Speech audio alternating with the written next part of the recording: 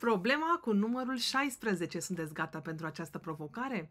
Secțiunea axială a unui cilindru este un pătrat cu diagonala de 4 radical în 2 cm.